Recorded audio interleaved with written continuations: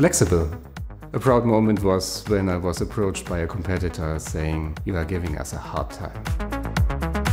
I'm Thomas. I'm with QIAGEN for more than 23 years now, and I was part of the development team for the QIAsymphony. Our main goal was to develop a medium to high throughput instrument with a broad application range, workflow coverage, and usability.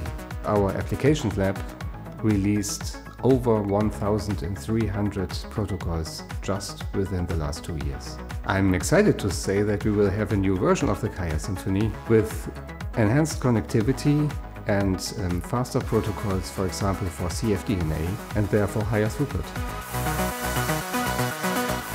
At QIAGEN, we build on.